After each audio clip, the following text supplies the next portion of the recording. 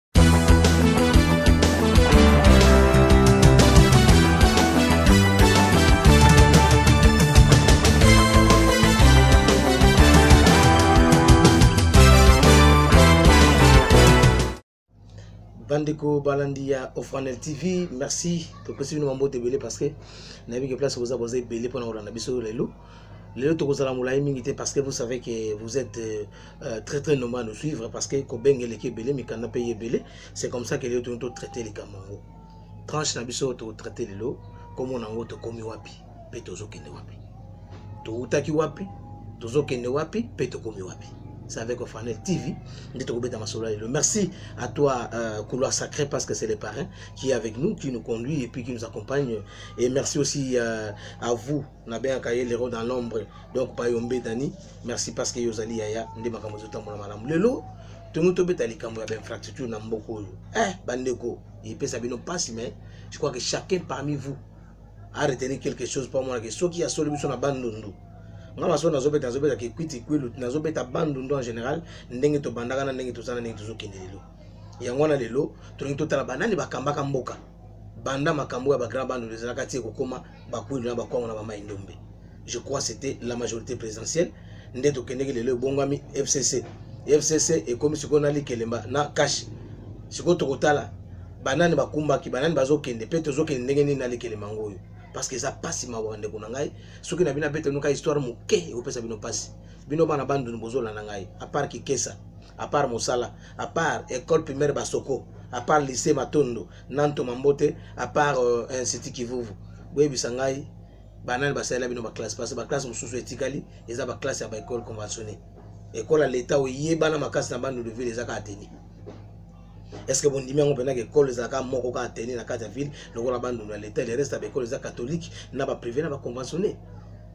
eza nko ou bien eza ndenge nini tokotala place ozokende soki nabengi bandeko na ngai abulungu na minite oyo ekole katolike moko kaka oyo esalaka fierté ya district ntango ezalaki kala parce que ezalaki sous région ya kwilu chef li ezalaki bulungu institut lotondo eh, lycée kivuvu sansa bana na ekolo wana mosusu ya bana mibali est ce que c'est normal banani baleka te na bafonction wana bana mboka nini baleka te place wana banani babundela bafonction te bamaka mabebi na place wana soni tokotala yango lelo oyo bainfrastructure nini batikela biso na bato oyo bakumba mboka oyo na lelo tozokende toza kolela soki toye awa na kikwiti na mparlon mpa tokotanga te parce que banda époque coloniale eza na ekolo batonga te merci coup de chapeau à toi parce que bato basalaki ne fiske ata na kati ya baekole conventionnel bakisa te eloko moko lokola richard ndambu mon gouverneur honorable député national merci beaucoup hmm, merci à toi aussi son excellence kamisendo parce que atikeli mpe bana ya, ya unikique auditoire merci à toi excellence balabala parce que asalaka passation ya marché oyo etikeli bana kikwiti nzela merci à toi echundal willy son excellence à peine entré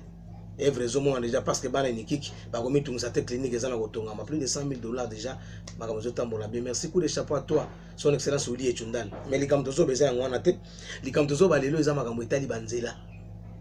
awa na ekuti baekole eza mpe kaka toleki mposo amela ntanga ba kaka tofrole kaka moke mpo totala soki eza nini soki mpe tozokende wapi yango nde nangi nao balelo eh, tokokamwa me tokamwa te totala mamona mbwa mafuila kombundu tozobeta lisolo ya stade tokobeta lisolo ya banzela tokobeta lisolo ya pont kuilu ekomi deja na detresse ezokweya kala te danger nango eza wana tokobeta eloko nini lingi ekweyisa pont kuilu ravin ya kanzombi en 65 mètres na place ezokoma wana et enfin nabete bino liso déjà baklasse na mondenge ezali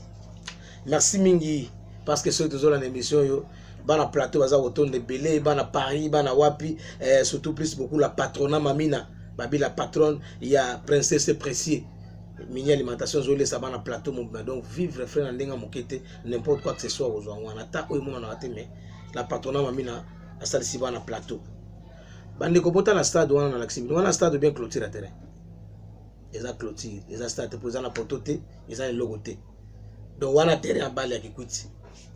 bato bamema gouvernement banda bagouvernement ebanda na lelo estce kikwiti ekozala na stade wana banani bakumba mokili oto banolakisa yango moke moke lelo nakokende moke parce que lobi susu toza baevenema donc ekoyinda mabe mpo bana grand bandundu bamona soki bazalaka na position nini na mitema ya bayi mboka na mitema bayi politiki bete meko mwa biyungu parce que bakozala biso kaka na mama bacampagne baye balati biso bapolo mpo biso bapolo tosombaka te jimel asala bapolo na baimpression tokosala biso wana moko stade wana banda babanda bitumba nango nzoka nde esila me esila te bomona yango ta ndenge ezali matiti plein zamba bandeko na nga bapolisier bazolala kuna nzala moto okipe bango aza te mpo bakengela bacontener wana eza na kati na biloko paretil oyo eyati lelo eyebanaka te se eza synthétique est ce que eza nini tozoyeba te bandeko bokotalela biso likambo oyo parce que trop c'est trop trop c'est trop trop c'est trop lelo ekomi fcc cash sikoyo fcc cash yango tozoyeba te eza ndenge nini eh, likelemba tosalaki mama alikelemba nyao nga mpuku nayebi te tokosuka ndenge nini parce que c'est sérieux toyei kokita na stade oyo grave botala bino moko stade ekozala na kati ya mboko kikwiti chef lieu te mais ville économique ya province na biso nakoloba eloko te botala kaka bomona parce que bakosi biso mingi balobeli biso mingi ngai nakomi kolemba parce que towuti wapi tozokende wapi mpe tokomi wapi banani bamema biso na baguvernema wana est ce que baza te na pouvoir baza kaka baza kaka ebele ebele ebele yango tozotala sikoyo natali makambo ya stade epesi nga mpasi yango etindi nga nabima na nzela quel état de route depuis 70 soki combien oyo ndeko takizala mpe ya son ame asalaka projet batyaka prince oyo oyo bazobenga national numero 1 wana etali bango bazolia mbongo nazolakisa bino ndenge mpo ezali mpasi bato bazosalela misala wana bamiyebi nazoba boulevard national na biso ndeko tala mabulu bapana mituka ekomaka baamortisseur okoyoka tanto su cartere tobokaki okoyoka o oh, pont soki babenga soki pont arrière evandaki na nzela oyo bandeko tozokende wapi mpe tokomi wapi promese nini bopesaka biso te ya lelo tokomi na promese nini eloko te tokokutana tokokutana kaka na kati ya kikwiti tokokutana kaka na kati ya bandundu tokokutana kati ya idiofa na gungu na kenge na popo kabaka na kasongolunda mpe na tembo na kaima tokokutanaka na bana mai na biso tala eta nzela mpo olongaki kuita okoma gungu okotambolaka na mwa prince moko na 622 place nzela eke malamu ko nzela gungu milelo na milelo 622 idiofa milelo na milelo qui n'a pas passé à être directeur de cabinet ministre président de l'assemblée tout consort zero na mboka na biso grand bandundu bamela biso mabe tala nzela tala mai tala nde bato bazokwea na kati ya mai me na katikati ya nzela oyo bazobenga boulevard national soni ebele tonton mboma alassane watara dede sinani molongani ya pisha est ce que tonton kolobela son excellence te parce que tosi loba pa makambo ezotambola ndenge ezosenga me atela biso likambo wana parce que ekozala très grave médecin directeur de docteur didier mabete ya hôpital général de référence ya kikwiti telaka biso mpe likambo yango parce que bino bato boza na bainitiative ezala bien soki makambo ezotambola bino bozokipe yango mpe bien ezala malamu makasi merci beaucoup parce que tout ce que nous sommes en train de faire ezali mpo ete mboka na biso ekende liboso tala pont kwilu ekomi en danger mpo na nini parce que bacanalisation eza te boteka boteka boteka ntina mopanzi ya pont bozoteka tala ravin utika nzombi ekomi ya 60 quelque mètre so batyeli biso debe na pamba etondisa biso place oyo tala tala bamapango ya bato ebukana kuna eluka bake wapi leta nde ya kopesa bango bamapango balongauleni papa tala nzela awa toza wapi awa toza na mabele ya kanzombi na mabele ya kuku pema ah toza de près na pont kwilu awa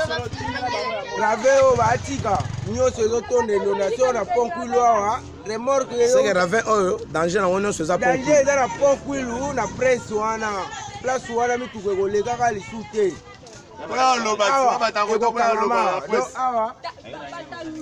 awa soki batieli biso ata 3 ben awa mosala oyo ezosila bakonzi batika biso ka boye neti biso bataximen vraiment nzela eza te nzela eza te nazo comprendre te kikwiti yango batikeli biso boye tokokende wapi awa soki mbula enoki nzela nyonso ezokatana nayebi te biso tobanda osala mosala ndenge nini bakonzi botala biso mabele oyo vraimen botika biso boye biso nde tofota bino lelo oyo botiaki kwiti boye naleli yango te bino bato boza na bainitiative ekozala bien soki makambo ezotambola bino bozokipe yango mpe bien ezala malamu makasi merci beaucoup parce que tout ce que nous sommes en train de faire ezali mpo ete mboka na biso ekende liboso tala pont kwilu ekomi en danger mpo na nini parce que bacanalisation eza te boteka boteka boteka ntina mopanzi ya pont bozoteka tala ravin utika nzombi ekomi ya 60 quelques mètres mpo ekoma na pont le pont kwilu en danger fcc cache tala pont mobutu asango depuis 75 na communauté économique européenne oyo ekoma ue lelo soki nini 75 esali combien yango wana elingi ekoya te pont yango wana nazolakisa bino okosuka wapi tala ville basse na bango eza babe yango ville basse nalakisi kaka banzela lelo me bainfrastructure eza ebele tokobeta se te tokolemba te tokoloba mpe tokolemba te ya mbala oyo tokosanctionne kaka miso emona emona emona elembi ekomi kotala mpo emona nini ezo ya liboso eza eloko te mais mwa moke kala azali nango koloba mokolo ya lelo yango wana merci parce que bokoyoka mpe bokotala biso ndenge nabi kaka tonto mboma beta lisolo parce que soki obeti lisolo ekokoma donc a toi a ndeko na ngai pire petit na ngai ayos ndeko na ngai zita bosco sumbi bazo oyida toujours na temps makambo bino mo boyebi na serge kimbo tobeta yango ensemble mpo tosola makambo yango e a toi surtout bato tozolobake batya maboko mpo makambo yango etambola likolo institution ya liboso ya province il s'appelle serge makongo son excellence monsieur le président de, de, de, de l'assemblée provinciale elongo na baninga na ye nyonso basalaka na bango bakoleki na ye merci botela biso likambo oyo surtout bozali bana kikwiti bayeli ya kikwiti maye konfumu mako honorable député provincial na leki na ye papi mitete sterling makambo obosana yango te parce que soki bino te ekosimba te docteur emeka vunga mpata 6600 volts il faut koloba franaki eza kotelema ntango bozalaki te wapi franaki ome bwana masa franaki ome koma kulu dimba do bana kikwiti kulu dimba na kati ya franaki me koyebana tokotala place tokosuka atwa epula bill obed kakoma constant place bozali babekele monange na états-unis abala mompiri denise wangata abana canada bino nyonso bomonika ndenge ezali mama grâce ya mokwa ya mfumu nkento boyebi kani makambo yango ezotambola bosesa biso mpo etalama mpo mama mokende liboso bolastin abuka ti yo moko oyebi mwana paris solange mokanda mwana saint père botya maboko parce que boza kuna toute la famille mosengi na poto lisene mosengi jeune mosengi mama kati mosengi depute ya kikwiti botala makambo ndenge ezotambola depute national botala makambo yango ndenge ezosima mystique godila midola brigite kindembe bino moko bozomona yango clara mokulu emmanuel matanda place bozali soki bozotela biso mpe ata na mosinga ekosimba bien maloba na bino ekotambola toujours très bien à toi aussi papa jean mbangu motema ya mama pasi ilanga mama yango ezalaka toujours bien ndenge ezali kams kambembo trésor ndona ti papa